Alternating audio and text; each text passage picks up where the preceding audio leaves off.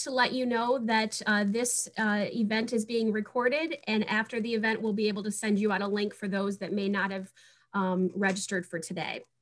Um, another reminder, the chat feature is there. If you'd like to send questions, it will come to me. And at the end of the event, we'll have time for question and answer. At this time, I would like to turn it over to Leanne Irwin. She is the co-chair of the Black History and Culture Committee. Leanne? Thank you, everyone. Thanks for joining us today.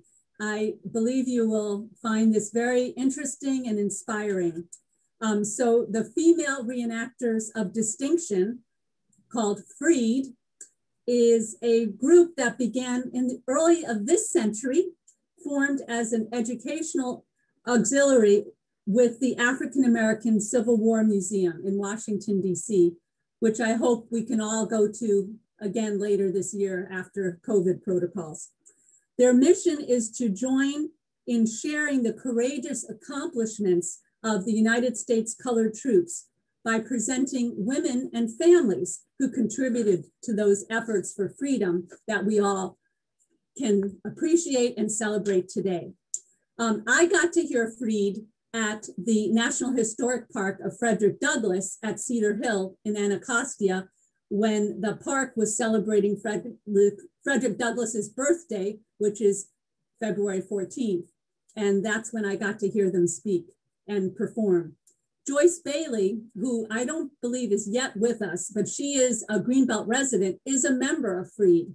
And so I hope um, she will be able to say hi to us at some point during this program. Today, we're going to hear the stories of three women. The first one is Frances Ellen Watkins Harper, who lived from 1825 to 1811, and she will be portrayed by Lavonda Broadnax. We will also be hearing about Hallie Quinn Brown, who will be portrayed by Patricia Tyson. The third person is preacher Amanda Berry Smith, who will be portrayed by Reverend Dr. Ruby Thomas. Thank you, women. I look forward to it.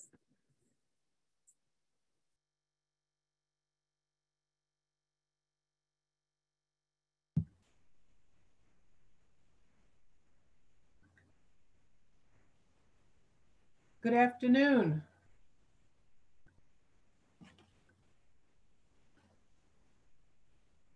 Good afternoon, ladies and gentlemen. My name is Frances Ellen Watkins Harper. I was born, as you just heard, in 1825. I was born free I was raised by my uncle. My uncle was a very unusual man.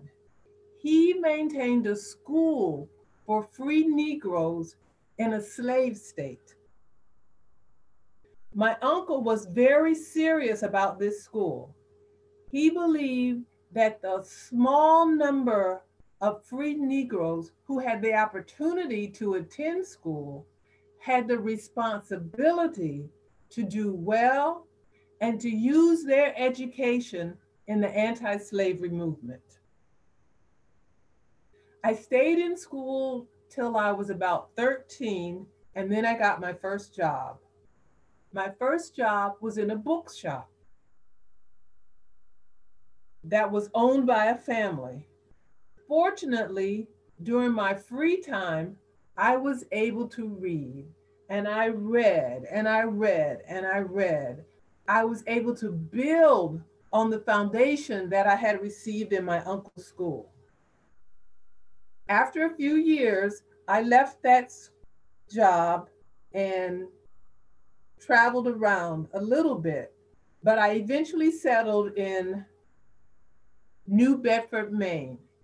And there I was still searching, trying to find how I was going to make a contribution to the anti slavery movement.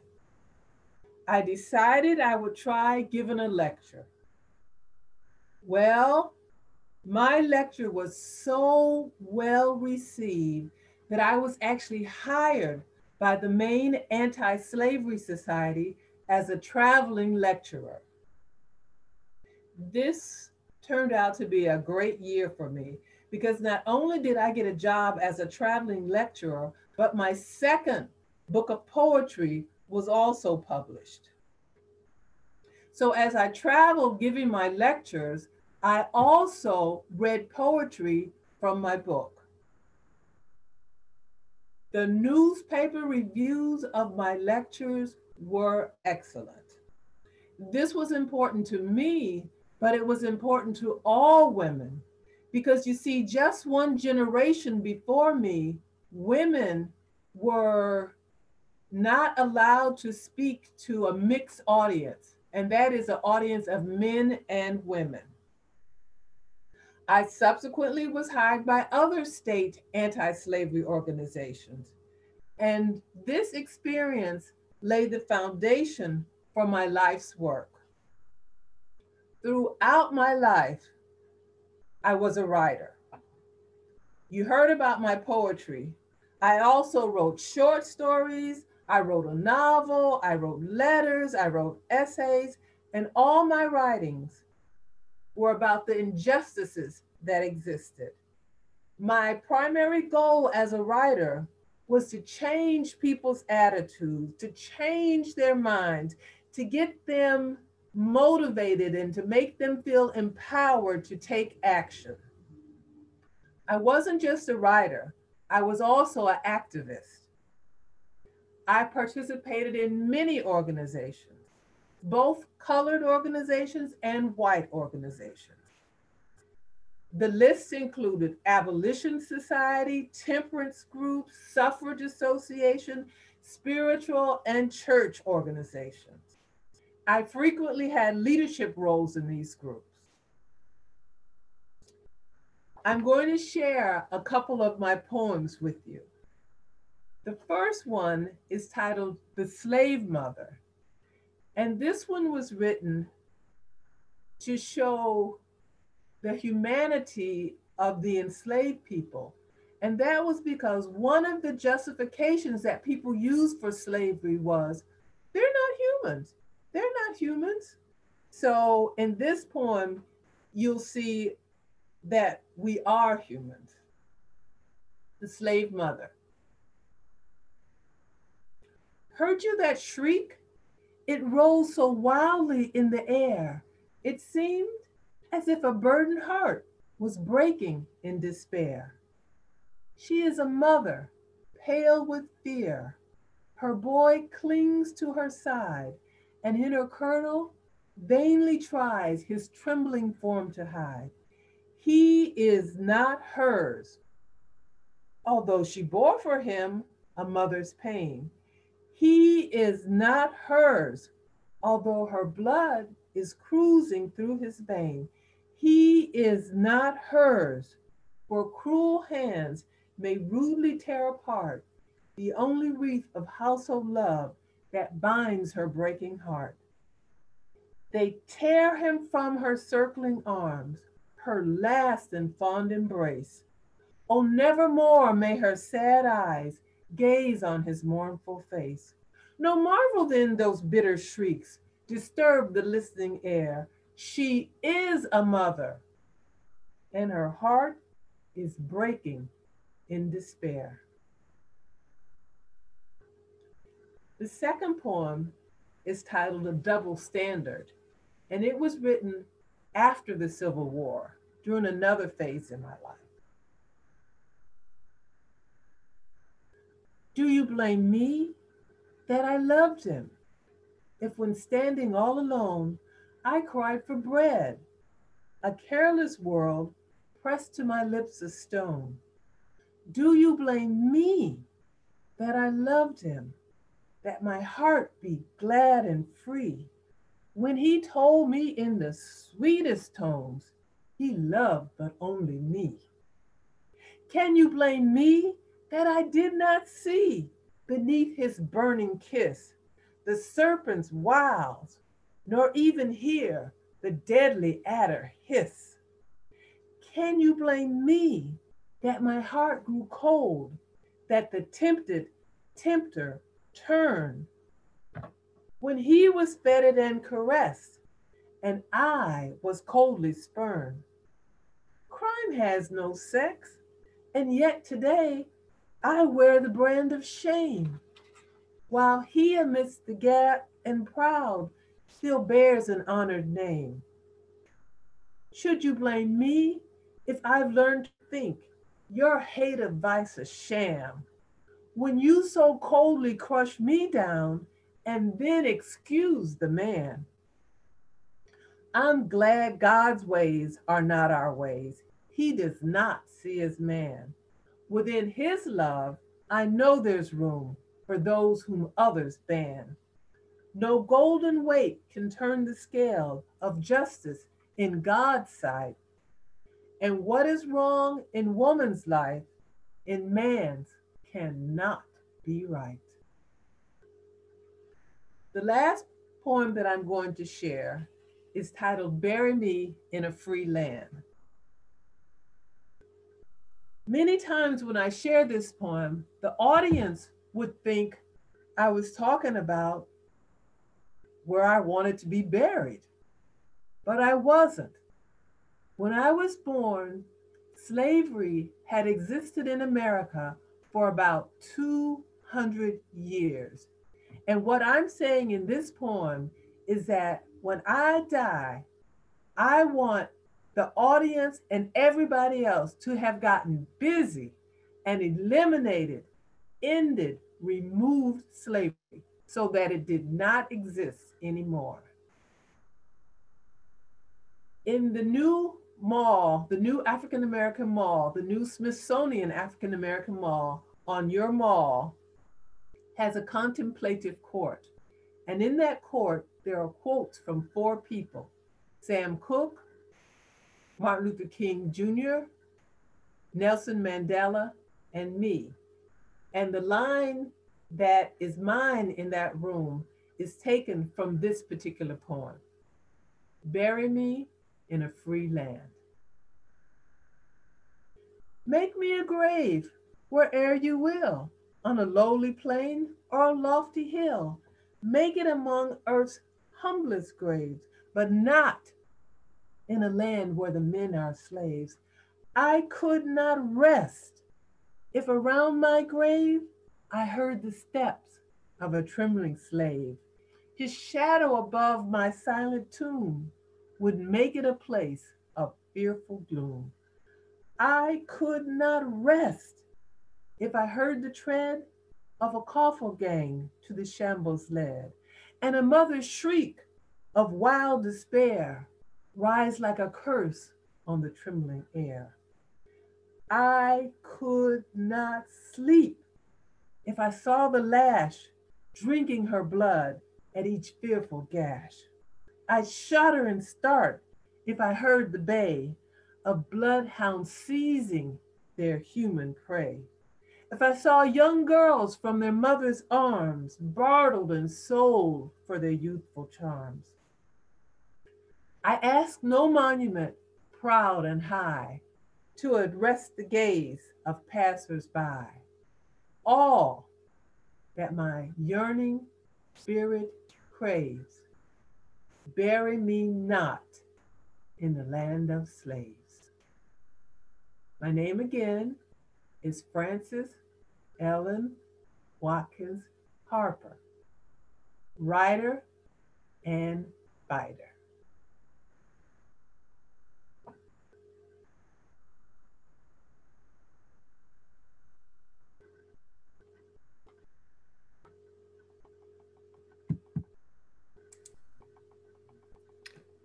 Miss Pat, you're up next. Hello.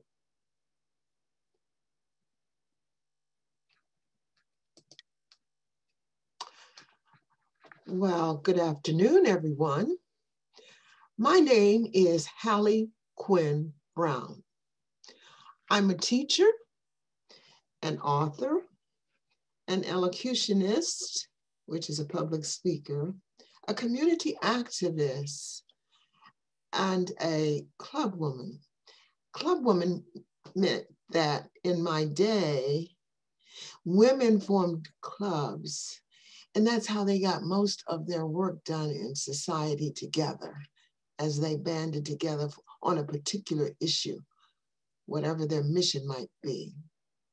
I was born in 1850.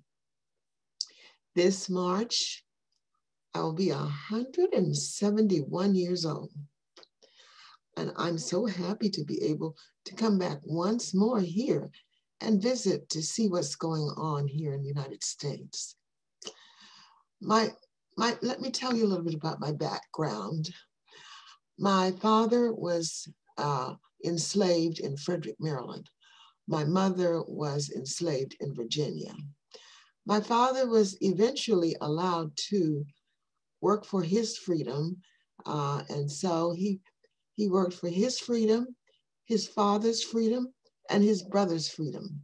My mother was given her freedom uh, by a uh, Revolutionary War uh, officer who had given her to his son. And then he gave uh, her her freedom. After my parents met up uh, and married, they moved to Pittsburgh. And there um, they set up house. I'm one of six children.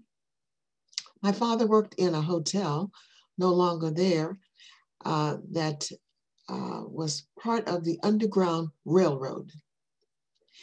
When a uh, person was being transferred from one state to another uh, to for another plantation, the person uh, may uh, uh, taking him or her would most likely, if they had to come through Pittsburgh, stay at the hotel.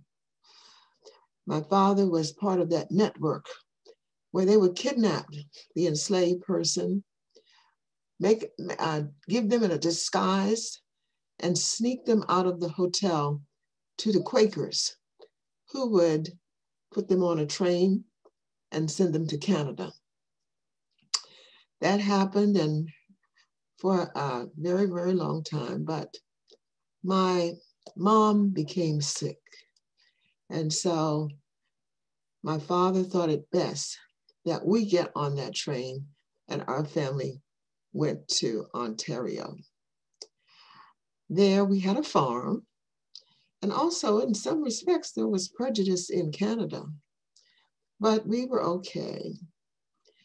One day my father took us to a parade where we saw this lady beautifully arrayed and in a little coach and men were bowing down at her and women were curtsying to her. And I wondered, I said to my dad, who is that? And he said, Queen Victoria of, of England. So I thought, oh, I've never seen anybody bow down to a woman before. Maybe by the time I'm ready to uh, work, be a part of society, people will allow me to, to, to, to be a part of that and not shut all women up. We went on and I got used to going to school and learning much and practicing. I like to run my mouth. So I would go out to the animals sometimes and talk to them. Eventually, my the war was over, and um, my dad decided that we had to come back to the States.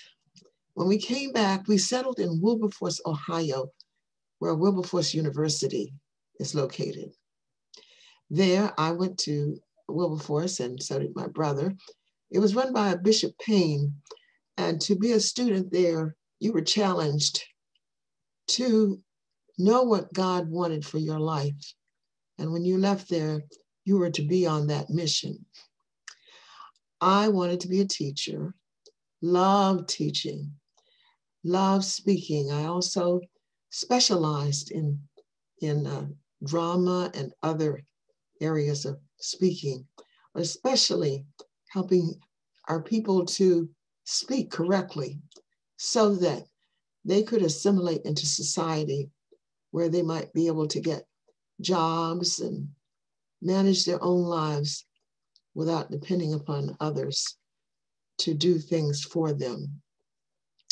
I went to my, after I graduated, I went to a little place in Yazoo, Mississippi, uh, um, at a plantation where there were still a lot of our people and set up classes and they had holes in their pants and uh, the, ch- uh, the children holes in their shoes and their hair was unkept and they needed a lot of attention and we set up classes there and taught them and parents as well. After I left there, before I came back to Ohio, I was a dean at Allen University in Columbia, South Carolina. I was also dean for a year of women at the Tuskegee Institute. I came back, set up night classes for those persons migrating from the South, and uh, did lots of uh, things with these wonderful families to help them assimilate into society. I became involved also with Susan B. Anthony on women's issues, and I represented the United States in women's conferences in Europe. I eventually worked uh, some my way into uh, the Republican Party uh, politics that I might, we might help get the right people elected to help our people. I was a nominating voice in the convention of 1920. I, I had a wonderful life. I had a wonderful life.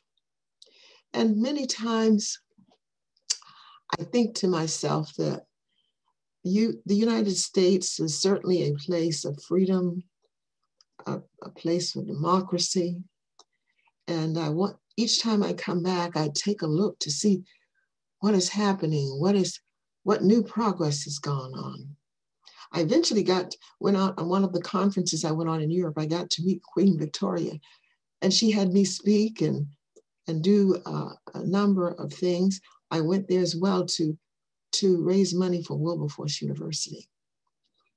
But today, as I come back, as I have sometimes before, I, I, I see what progress is going on and there are various issues here that you're facing, tough issues, but I know that you'll conquer them and get through them. Just don't give up. I am very concerned though about your young people.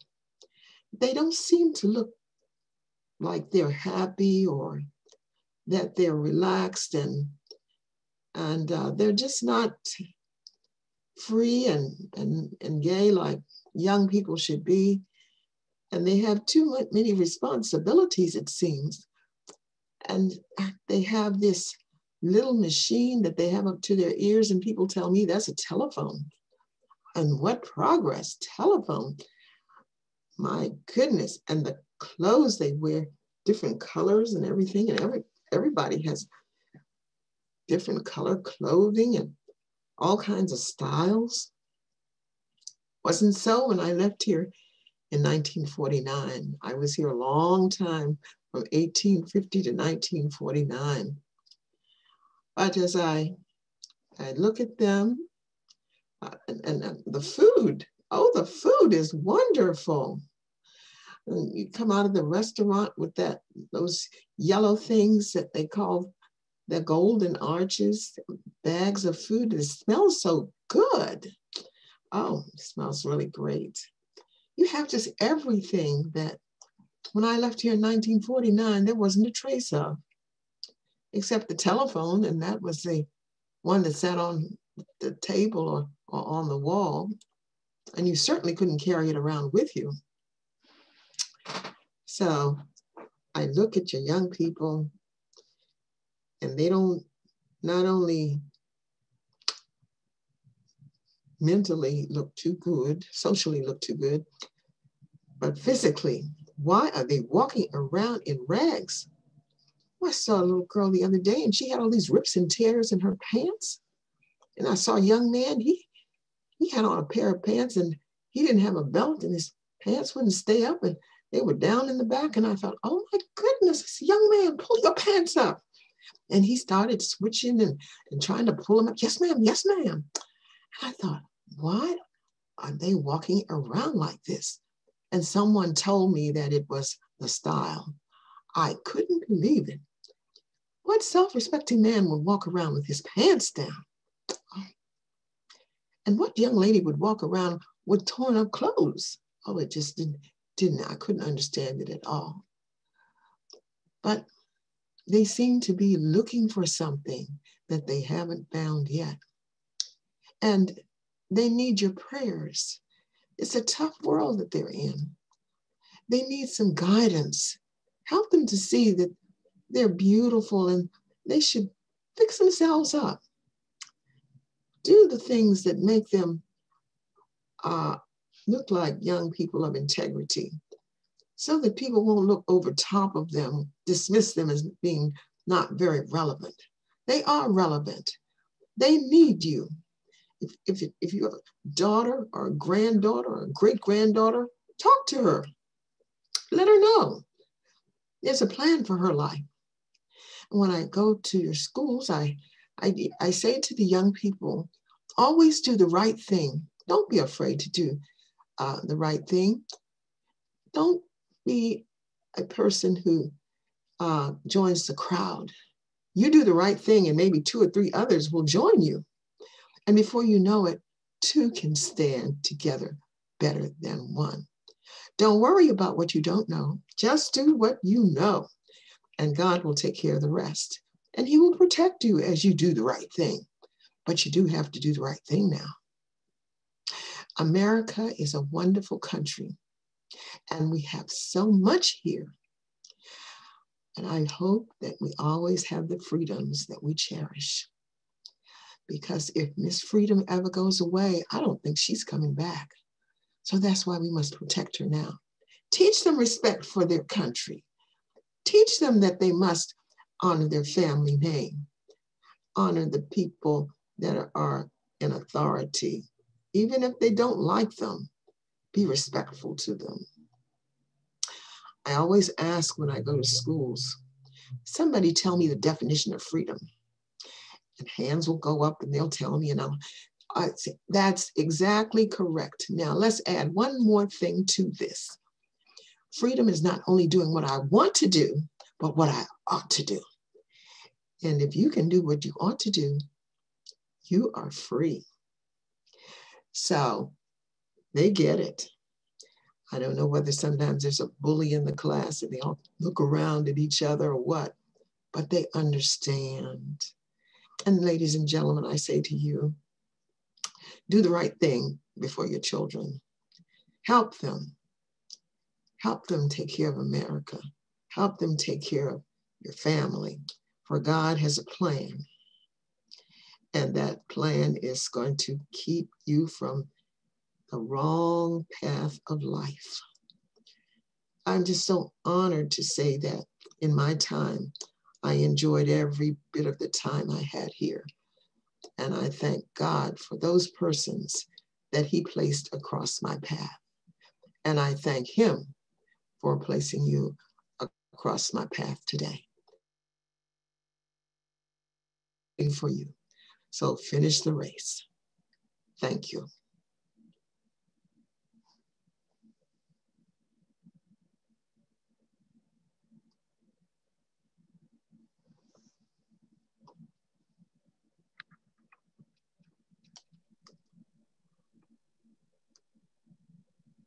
Hey, Dr. Reverend.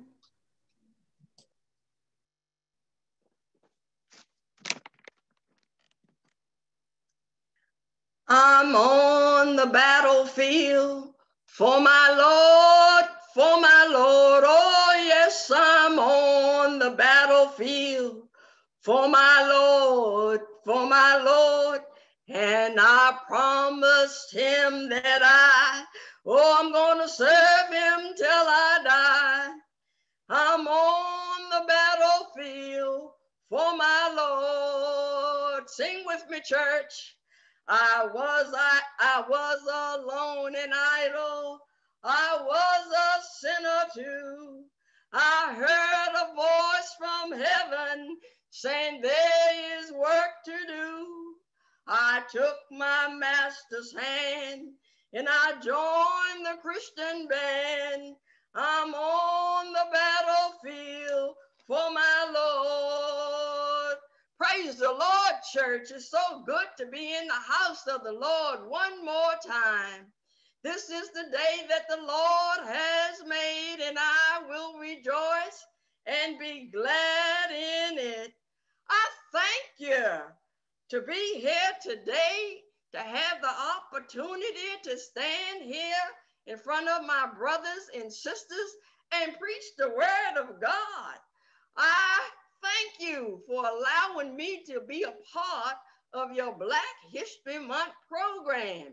Me, a colored woman, Amanda Berry Smith, here in Greenbelt, Maryland, to give you a little bit about who I am and to give you the word of God this morning. Let's give God some praise. Let's give him some praise and glory this morning.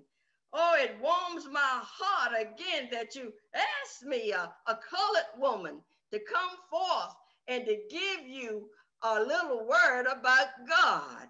Hallelujah. But I know some of you don't know who I am. So before I preach the word of God, I like to share with you a little bit about who Amanda Berry Smith is. Well, my life started on January the 23rd, 1837, as a slave on a small farm north of Baltimore in a little county called Long Green. Well, it was about 20 miles north of Baltimore, and we would go in and out of Baltimore every now and then. My daddy is an important person in my life. My daddy is the greatest man God has ever put on earth. His name is Samuel Berry. And I need to tell you about my mama because she is so important too. My mama is the sweetest woman on this earth. God sent her here as a sweet angel. Her name is Miriam. She could cook. Oh, Lord, she could cook. You know how you take something and make something and make something into nothing and then make nothing back into something? Y'all know what I'm talking about. You take a little bit of this and a little bit of that. And before you know it, there's a meal on the table for us seven children. God be the glory. My daddy worked on a slave farm, and that's where we lived at. But he was a faithful and he was an honest man. And the lady that was his master, she was kind to us. And she extended to my daddy that he could buy his freedom my daddy got busy and he started taking that old hay that nobody wanted and he started making brooms and he started making them old hay mats. And he would go back and forth into the town and sell those mats after he had worked all day on the farm. I told you my daddy was an honest and a good man. My daddy knew that the Lord would supply all of his needs. All he had to do was keep the faith and don't give up. My, my daddy trusted in the Lord. Well, my daddy saved enough money, church, that he was able to buy his freedom. And guess what he did next? He bought my mama and us children our freedom. And we couldn't get out of Baltimore fast enough. We put in our little buggy, our little rags, and we left and went into Pennsylvania to live. Well, let me tell you what I used to do when I was growing up. Well, my daddy could read and he could write. And the master, master lady taught him how to read and write.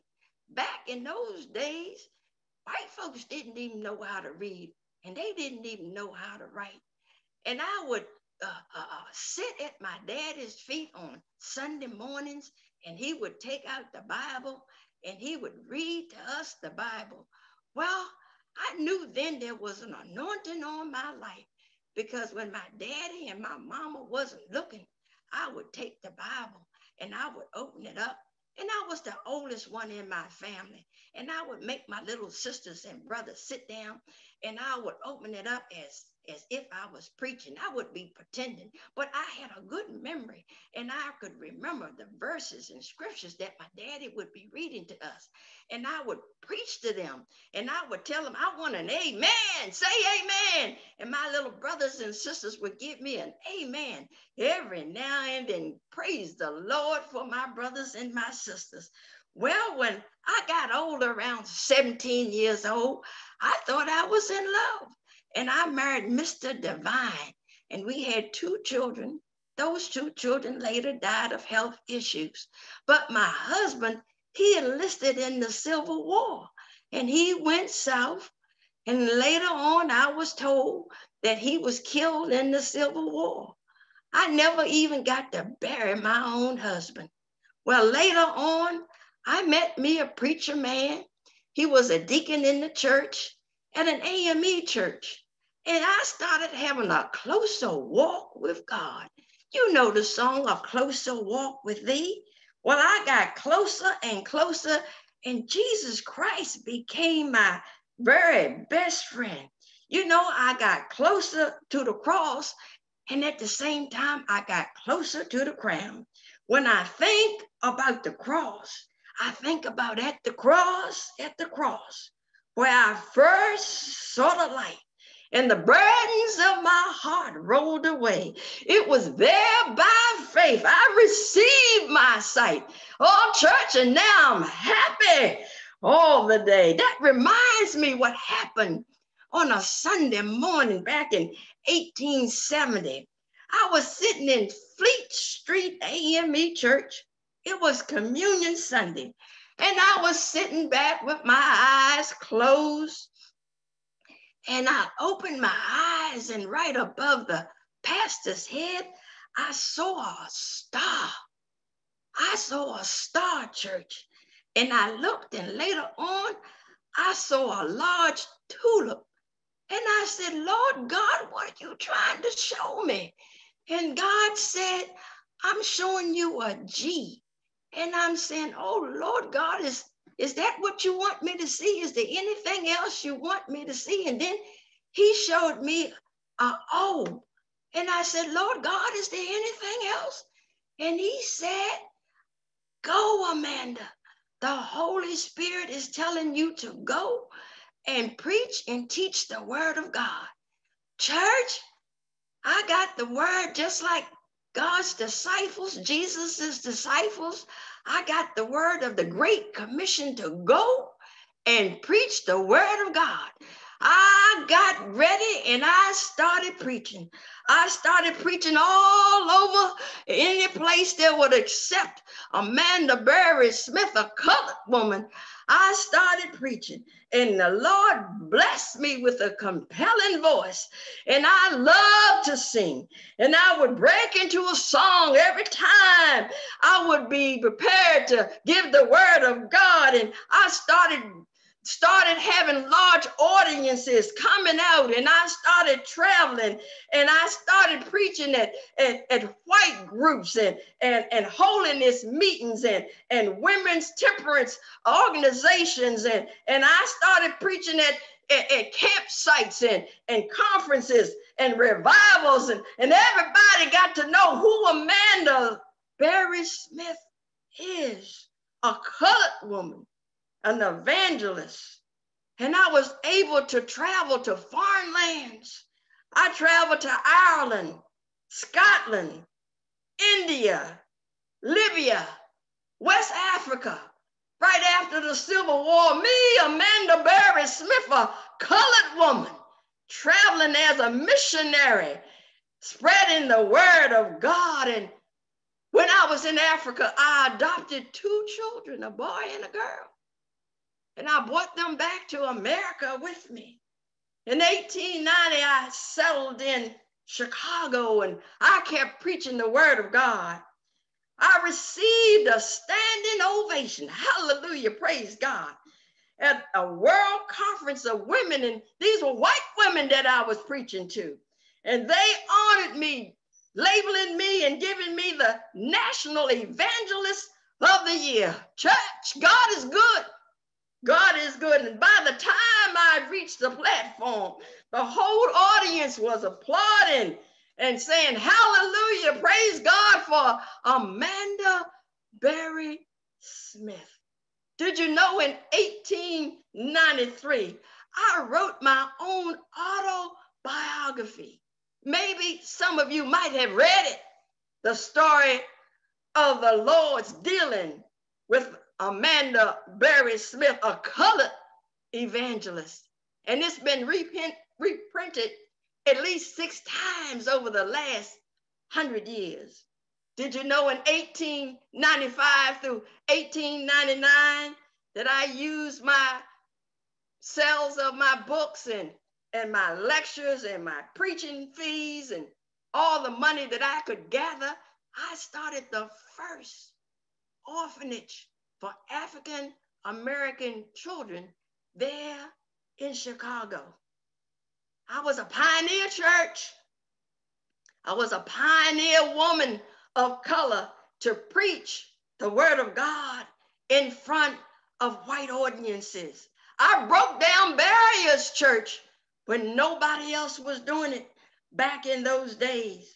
Church, I wrote my own autobiography, being self taught and how to read. I've been spreading the word of God all over this land. From slavery and poverty, I became a world famous evangelist. That's me, Amanda Berry Smith. I told God that I would be obedient and that I would go. I am steadfast, unmovable, always abounding in the work of the Lord. I will continue to tell the world about the Alpha and the Omega, the bright and the morning star, the comforter and my cornerstone. He is my deliverer and my divine son. He's my healer and my holy one, the light of the world, and he's my living water.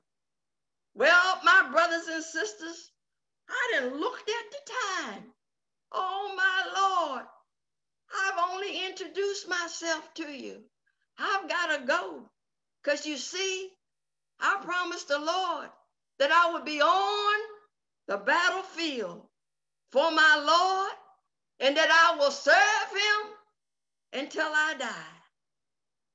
Give God some glory, give God some praise.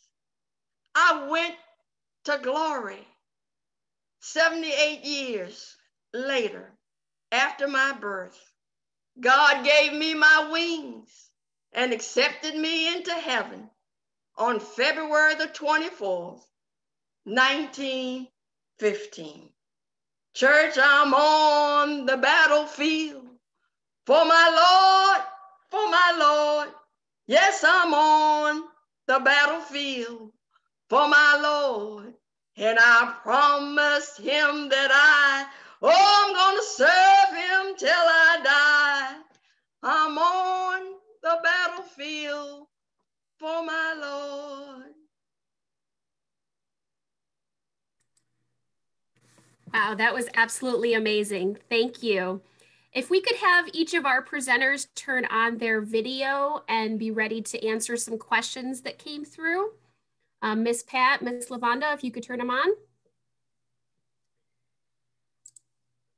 Okay. All right, I also would like to um, invite uh, Joyce Bailey. She is on our call today and she is going to, um, she's from Greenbelt, Maryland, and, uh, and she also is a part of Freed. And I did ask her before we do all the questions if she could just tell us about her experience with the group Miss Joyce? Yes. Hello to everyone. Um, I hate to follow Dr. Reverend Thomas because that was a delivery. Praise the Lord. But I joined the organization in 2005 um, outside of the Civil War, African American Civil War Memorial. Um, and I was representing Elizabeth Keckley at that time. And um, I realized when the various ladies that were there started talking together that it's so important to let, especially the children, the youngsters, the young adults, know the contributions that African Americans have made to this country since being brought here enslaved. And what we decided was that we would um, find out our histories in relation to the United States colored troops. I found out that I had a great great grandfather who was a United States colored trooper, which I had never known. And there were over 200,000 men of African descent that were in the Civil War. And many people do not know that. Um, until the movie Glory came out, that was kind of a well kept secret. Anyway, we met at the memorial and we decided at that time that we would represent the ladies who supported the United States colored troops and also made other contributions to uh, this country. And I decided that that would be an excellent thing. And I think it's important because there's so many people that don't know our history in this country. And that's how I joined. I just, we came together. We decided that we would represent different ladies from that Civil War period. And each of us has, as you notice, a special character that we do. And um, we go to various places that invite us to come and tell our history. And that's how I started. Thank you, Joyce. We greatly appreciate that. And each one of you, amazing. Um, we do have some questions from our audience. Um, the first one is kind of twofold. So if you could go in the order that you presented, that would make it easier. Um, the question is, how did you choose your character to portray and what kind of research did you do? Okay, if we go in the order of presentation, that means I get to start. I worked for 25 years as a librarian at the Library of Congress. And at one point, I decided I would do a project with African American women from the Civil War era who were authors. And in searching out women who were authors, I discovered Frances Ellen Watkins Harper. And I was I, I was just amazed by her, and I decided I would portray her. Okay, well, uh, my character, Hallie Quinn Brown, I have to say what uh, one other lady said when we were, she was being interviewed by a, um, a, a, uh, a, newscaster. And uh, she said, I didn't pick my character, my character picked me. And that is so true. I had no idea. I went on and Googled um, African American women of the Civil War and, and I looked at each one. But for some reason, this lady stood out.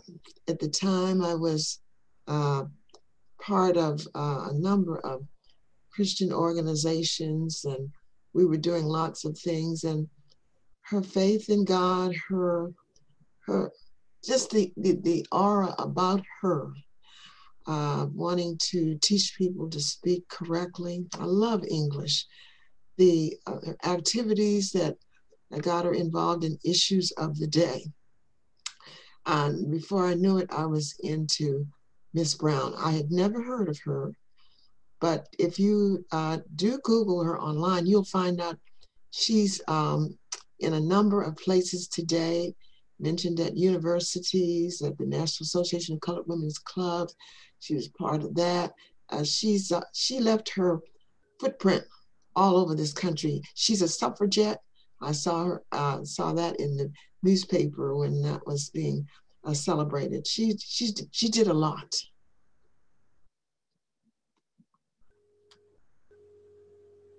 Uh, Reverend Dr. Ruby. Um, um, my my my story of uh, Amanda Berry Smith probably began like 35, 40 years ago. Um, I worked in the federal government, and one of the uh, positions that I held was we were responsible for putting on Black History Month programs. And I still have documentation from Joyce's organization back in the 70s when we were trying to put on Black History Month programs. And there was nothing out there. And so I decided that I was going to create some Black history uh, uh, programs for especially the schools and and other government agencies. And at that time, C.R. Gibbs uh, had a lecture circuit uh, uh, uh that he was going uh, to different places, and he was um, educating folks about Black history. And we met, and I started lecturing with him. And then I branched off from him, and I started doing my research, and it was called Black Women from Maryland, the Famous and the Forgotten. And uh, so there was forgotten people that people just didn't know anything about. And one of them was Amanda Berry Smith. And then as years passed, God called me uh, to be a preacher. And, but it was, so it was only natural that I went back and I looked at Amanda Berry Smith's life and I'm saying, my God, her her life, 100 years, 150 years later, uh, about the struggle of women uh, in the pulpit and women being accepted uh, as being anointed to preach the word of God. I said, I, I got to tell this lady's story. Um, so um, that's how I ended up with Amanda Berry Smith, the, the colored evangelist. That's great. Um, the next question is kind of along the same lines. They want to know um, how was the research done for each of your historic figures? Um, do you talk about it as a group or do you do it individually? And you know what other resources are out there for you um, to, to portray your character? Anyone can answer. Well, I uh, the I, I just Google and, and uh, more and more information comes online about my character as the months evolve. I found different pictures, I found uh, different things about her. Eventually, I want to visit Wilberforce University, where she is uh, buried, and I want to find out uh, much more about her so there's a lot about her online for me. So, but I stick with the basics uh, story. Sometimes, you know, Google can, uh, their, their information out there is contradictory.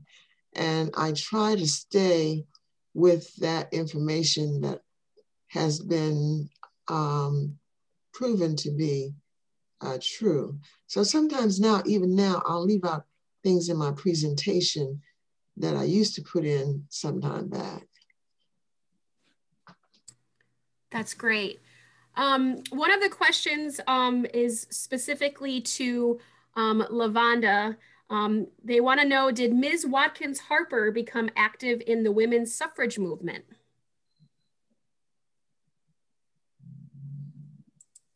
Yes, yes, she did. Uh, there were actually a at least a couple times. There are a couple of her speeches that are still available today, where she was actually invited to speak at um, women's conferences. Now, when she spoke, what you may know already that uh, there were issues between in the women's suffrage movement about the participation and the support for African American men getting the right to vote. So at a point, the suffrage movement, the, the white women's suffrage movement split over that issue. And so at one point when Frances Harper was invited to speak, a part of her message addressed the racism that existed in the suffrage movement. She also worked very strongly with African women, African American club women. And at one point, the African American club women decided to unite the individual clubs and formed the National Association of Colored Women's Clubs. And Frances Harper was the first vice president of that organization. So, yes, she did participate in the suffrage movement. And the poem that I read, The Double Standard, was written by her during that time and as she was doing that work. But there were many other things that she wrote also. Great, thank you. Um, we did have a comment um, about Amanda Berry Smith. Um, she was mentioned in a recent story of the Black Church done by Henry Louis Gates Jr. on PBS. Did you mm -hmm. see that? Good. I see you're shaking your head. yes. Okay. Um, one of the other questions that came through a couple times was um, the participant or the guests want to know if they can see some of your garments that you have on today. Um, is that an option or is it um, is it best to share the picture with them that you sent? Well, for mine, um, there's nothing much more to see. It's it's all all black and my camera wouldn't take it. Uh, my camera would, wouldn't take in the whole view. But you know, if they um, want to see another outfit that I'm in, I do believe your office has a character page. And so maybe they could ask you to send them that character page. For each of us has not only the picture of our character, but it has a picture of us in period dress. Yep, I can definitely do that. Um, one of the other questions, and I know, um, I know uh, for Amanda Berry Smith, she had gotten married and had kids. Um, did the other um, women get married and have kids? No, mine didn't. Mine, mine was single all her life. Frances Harper uh, did get married she married uh, a gentleman who lived in Ohio. And at the time that she got married, she had been on the lecture circuit for a while. So she had accumulated a tidy sum of money. And with her husband, who was a widow, she they bought a farm. Her husband, unfortunately, died soon, maybe Uh, he he died a few years after they were married, and realistically, in Ohio at that time, women could not own property. So her property and everything that was in that house was taken from her. And so she had to start her life over again from scratch. While she was married, she did have one child with that husband. And she didn't marry again, but she raised her daughter and her daughter, unfortunately, uh, died before she did, uh, just a few years before she did. Okay, great. Um, one of the other questions that came out, um, and not sure if you if you know the answer to this, is how do you find out if descendants served in the U.S. Colored Troop? Oh, that's easy. Joyce, why don't you answer that one? You would go to the African American Civil War Museum in Washington, D.C. It's 1925 Vermont Avenue Northwest. They have books that indicate or give the names of the various soldiers that participated in the Civil War. So you have the name of your um, ancestor or the person you're looking up. Take that with you and then go in and, and you'll be welcomed very fondly and then and help to show how to do that. Now with my character, I was able, before this system was set in motion, I went to the National Archives and it was just a blessing that they had, they were cataloging the United States colored troops at that time. And that was, like I said, about 2004.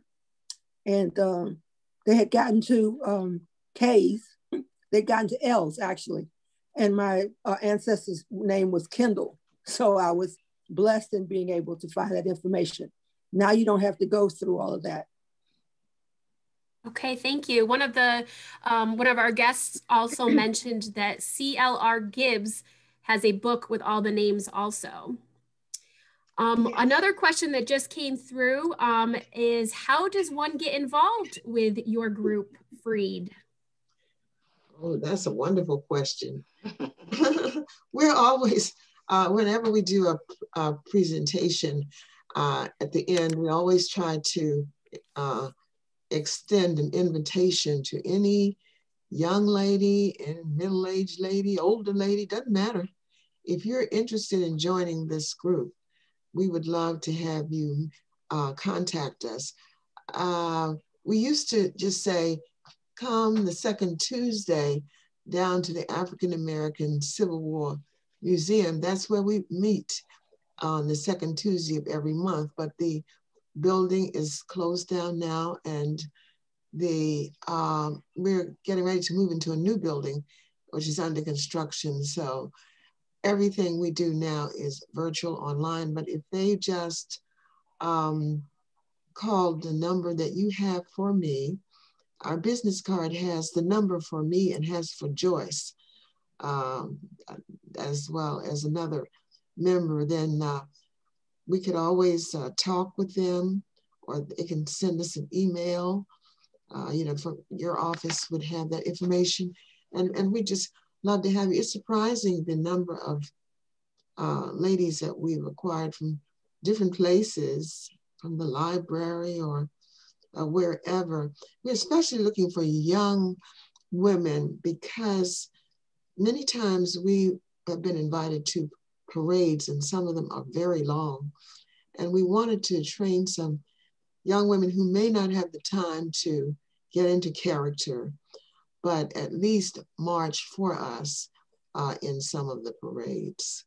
And, uh, you know, we would outfit them and uh, show them how to how to march for us. Mm-hmm. That's great. Um, and as Miss Pat said, um, after the presentation, I will send a follow-up email and it will have their contact information. I also will give information of each character that they portrayed. Um, we've had several comments come through. Wonderful presentation, very informative, absolutely amazing. Um, thank you to each of you. I know that it's a, a big undertaking. Um, I don't have any other questions um, that came through. So Leanne um, and Miss Lois, if you'd like to give some final comments, um, that would be appreciated. Good afternoon, ladies. This was an absolutely wonderful presentation. And um, we selected, well, I selected Ellen, um, Ellen Watkins Harper this year as one of four women that we are highlighting um, monthly. Most people didn't know about her. I knew about her. Believe it or not, I learned about her reading a romance novel, a historical. Be surprised what you learn in historical romance mm-hmm. novels. Um, so she was the person we selected, and and and I was very impressed with the person that she was. So, and I wanted more people to know about her because lots of folks know about Ida B. Wells and her and her work with the suffragette movement, but a lot of folks did not know about um, Ellen Ellen Harper uh, Watkins. So thank you so much. This was very enlightening, and I will be in touch with you because there's probably more information that we need to learn from you in terms of putting together our Black History Month event. So I'd appreciate any resources or ideas that you all are willing to share with us in moving that forward. So I thank you. And I also thank those in the audience that came and participated. Very Lois. appreciated. Lois? Yes. This is Susie. Could you show us who's attending today? And then I wanted to let you know that the years that I was getting speakers for the Golden Age Club, uh, Joyce's group would come every February. So hopefully we'll be back in whatever in service in 2021 at the end, maybe. Yes, yes. Oh, and Joyce's mother has a display at the African American Museum that she didn't mention. It's also online. If you go into the uh, National Museum of African American History and Culture, they have a listing of the various um, activities and sections that they have. Hers would be under fashion, clothing, it might be under art, but go in there and the Black Fashion Museum is the museum that she's talking about. It was, um, my mother started that museum in 1979 in Harlem, New York. And the museum moved here in 19, in the 1990s uh, because unfortunately my mother developed Alzheimer's. And that was the museum that I donated, the collection I donated to the National Museum of African American History and Culture. Thank you for doing that. Thanks, uh, Susie, for bringing that up. Um, Joyce, if you want to email that to me, I can include that in the follow-up email. Okay, Um, will yep. do. Yep. But thank you everybody for joining us today. Um, I did put in the chat um, the link to our flyer. Um, we do have some events still coming up for the rest, the remainder of the month. So all are welcome. And I know that I could probably speak on behalf of everyone that joined us today. Thank you, each of you. Wonderful job. It definitely was a blessing to, to be here with each of you today. So thank you. Thank you. Thank All you. right. Well, everyone have a great day. And um, again, we'll follow up with an email with the recording and other informative information regarding today's presentation. Uh, can I ask one more thing? Brittany, did you get everything you needed? Brittany Gaddy? Yes, thank you. Brittany's Yes, a young I- reporter. Yep. I told her I would send her some stuff too. So she's going to report it in the news review. Thank, Thank you. Thank you, women. This is uh, Leanne. Thank you for um, a great program. Um, I am going to go find uh, Amanda Berry Smith autobiography. Um, so that that will be some winter reading. Um, and um, I think so. All right. Well, thank you all so much. Have a great day. Bye, everyone. Bye. Bye. Good afternoon.